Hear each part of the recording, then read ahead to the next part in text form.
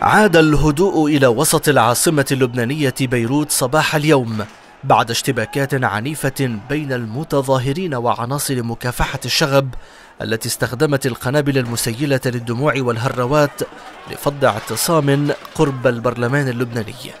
واستمرت الاشتباكات لساعات ليل الأحد لليوم الثاني على التوالي قبل أن يتمكن الجيش اللبناني من ضبط الأوضاع من جديد. وزارة الداخلية اللبنانية دعت المتظاهرين للابتعاد عن مكان المواجهات مؤكدة إصدار الأوامر لعناصر مكافحة الشغب باستعمال القنابل المسيلة للدموع كما تحدثت عن وقوع إصابات في صفوف أفرادها جراء تعرضهم لإلقاء الحجارة. في المقابل قال عدد من الناشطين في الحراك الشعبي إنهم فوجئوا بتعرضهم للقنابل والاعتداء عليهم بالهروات أثناء اعتصامهم السلمي. منددين بهذا التصعيد من قبل القوى الأمنية قبل الاستشارات النيابية لتكليف رئيس الوزراء.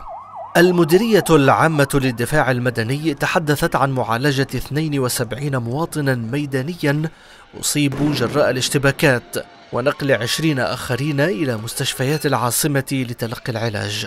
وعلى الصعيد السياسي أعلنت الرئاسة اللبنانية تأجيل الاستشارات النيابية لتكليف رئيس الوزراء لتشكيل الحكومة إلى يوم الخميس المقبل بناء على طلب من رئيس وزراء حكومة تصريف الأعمال سعد الحريري.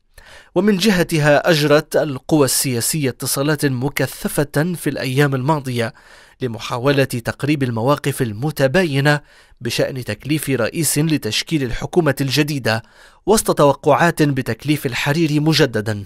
وهو الأمر الذي يرفضه المتظاهرون الذين يعتبرون الحريري جزءا مما يصفونه بمنظومة الفساد التي تتحكم بالبلاد وتستنزف مواردها.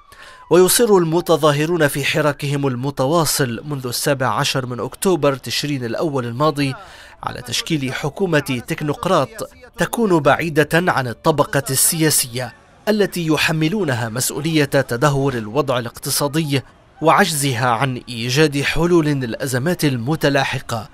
فهل تنجح القوى السياسية في احتواء الحراك أم أن الشعب اللبناني سيبقى عند كلمته؟ كل يعني كل.